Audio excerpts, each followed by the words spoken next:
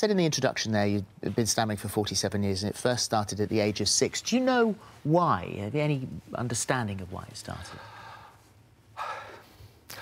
I've always thought it was with the upsets in the house mm. when my parents were splitting up. Mm. Hearing the arguments and the shouting, it, I think that's what upset me, yeah. and it's gave me like a, uh, anxiety problems yes. or yeah. anxious. And... Yeah. And then and... through school, I mean, that's that's when it got really tricky, wasn't yeah, it? And not yeah. just the pupils, but the teachers as well. Mm.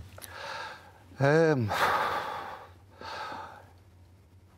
when the teachers asked a question, I knew the answers, but I was too scared to put my hand up. Yeah.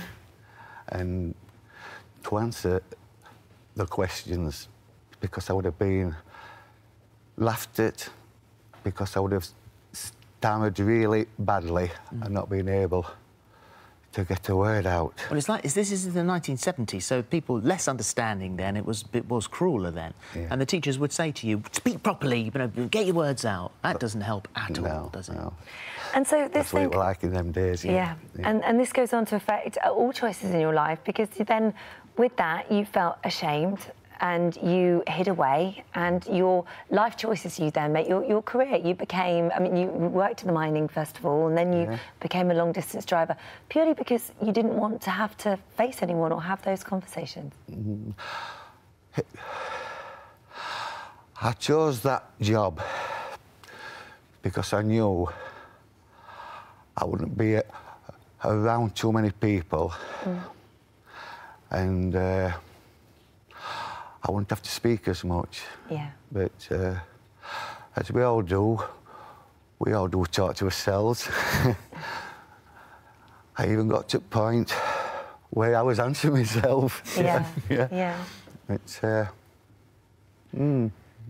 So, uh, when it came to relationships, um, it was in 2014, and Paula, you oh, you're now married, and we'll come to that in a moment. But you met on online first of all, and you didn't know anything about the stammer to begin with. I think it, I think it was a joke. He made a joke to you online first of all. Oh yeah, it was just he was sending me jokes and.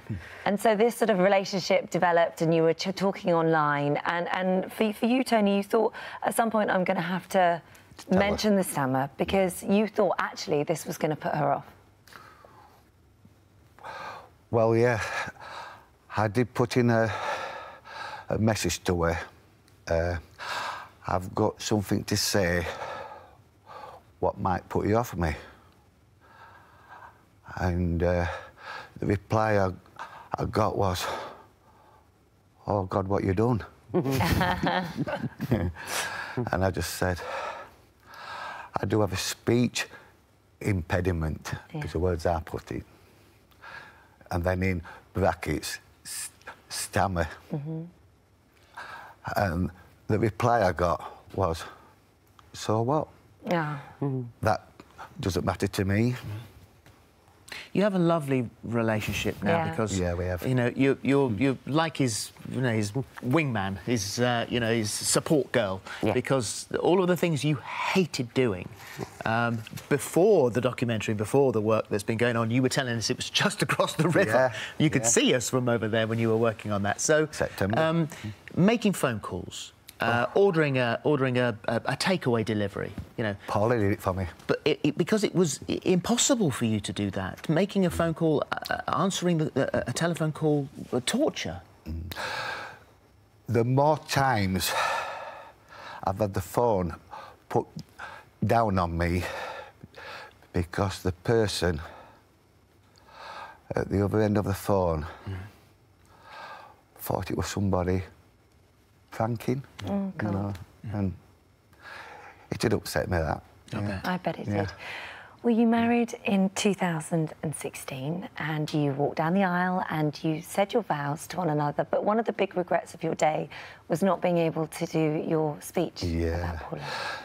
There was all egging me to get up to say it, to say the speech. Mm -hmm. but there was quite a few people in the room I didn't know. So I'm a bit, I was a bit conscious hmm. about speaking in front of people who didn't know I had a stammer. Yeah, yeah. I prefer people to know that I've got a stammer before I talk to them. Yeah. You've got something in your pocket, haven't you, that you were gonna you were gonna read out? Yeah, I Do you have, wanna do yeah. Uh, I'll try. I think I'll be able to do it, yeah. Yeah? Yeah. Do you wanna give it we're a all go? with you, that's Yeah. for sure. Do you want to give it a go? Yeah. Okay. It's for you, this Paulie. Um, I'm sorry I was unable to do the speech at his wedding. As you know, I was scared and nervous. Don't cry. um,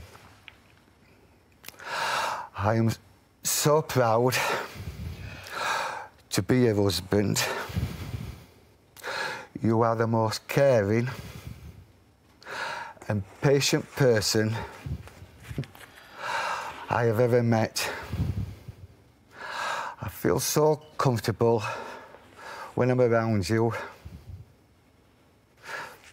Thank you for being Mrs. Robinson.